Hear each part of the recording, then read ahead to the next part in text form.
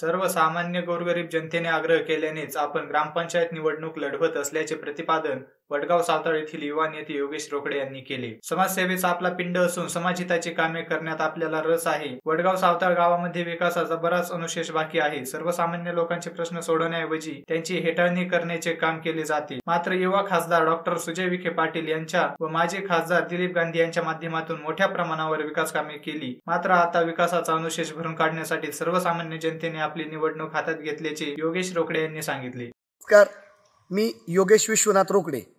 वडगाव सावताळ ग्रामपंचायत निवडणूक कार्यक्रम दोन हजार वीस एकवीससाठी वार्ड क्रमांक दोनमधून एक जनतेच्या आग्रहाखातर आणि गोरगरीब जनतेने सांगितलं म्हणून मी निवडणुकीसाठी उभा आहे. मी ज्यावेळेस वार्डामध्ये फिरलो त्यावेळेस निवडणुकीच्या उत्सुकतेपोटी मी का निवडणूक लढत आहे? का गावामधील गोरगरीब जनतेचे जे प्रश्न आहेत ते सोडवण्यासाठी जनतेकडून मला उदंड असा प्रतिसाद मिळत गेला का योगेश तुला आता निवडणूक लढवावी लागेल? यापूर्वी सामाजिक काम करत असताना प्रचंड मोठ्या प्रमाणामध्ये मी सरकार दरबारी विविध प्रश्न मांडून गोरगरीब जनतेचे प्रश्न सोडवलेले आहेत. परंतु गावामध्ये असे काही प्रमुख प्रश्न आहेत का जे सोडवण्यासाठी मला ग्रामपंचायतीची निवडणूक लढवण्यासाठी आपल्या गावातील काही गोरगरीब जनतेने ग्रामस्थांनी आग्रह धरला आणि म्हणून मी या निवडणुकीसाठी उभा राहिलो.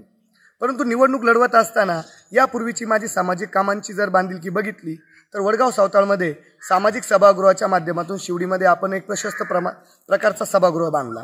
त्याप्रमाणे शालेय कामांचं जर सांगायचं झालं तर आं आंबेमाळा शाळेच्या ग्रामपंचायत शाळेसाठी आपण सन्मान्य खासदार दिलीप गांधी यांच्या निधीतून बोरवेल मिळवला. त्याचप्रमाणे त्यांच्या निधीतून तटीफाटा शाळेसाठी अंदाजे रक्कम दोन लाख रुपये रकमेचा संगणक संच प्राप्त करून दिला.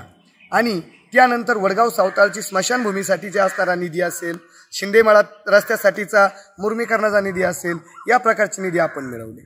परंतु ग्रामपंचायतीचा निधी तोकडा असतो. त्याच्या माध्यमातून ग्रामस्थांची कामं होऊ शकत नाहीत.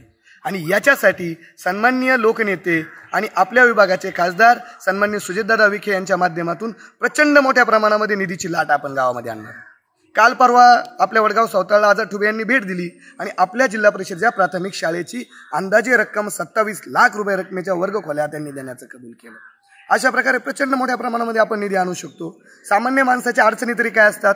चांगला रस्ता पिण्यासाठी स्वच्छ पाणी आणि एक विद्यार्थी असतील किंवा शेतीसाठी असणारी विद्युत यंत्रणा.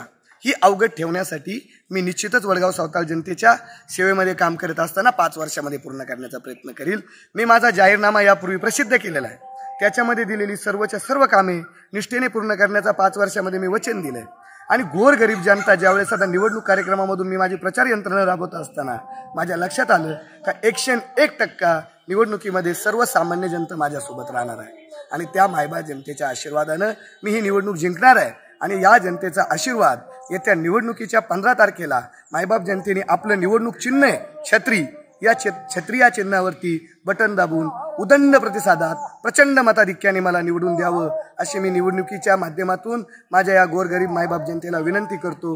Ramkrishna Hari. Bureau chief Sanjay More Maybhumi news Parner. Ahmednagar जिल्ह्यासह संपूर्ण महाराष्ट्रातील प्रत्येक घडामोडीची अपडेट पाहण्यासाठी मायभूमी न्यूज आवाज जनमनाचा या चॅनलला सबस्क्राईब करा आणि बेल आयकॉनवर क्लिक करा.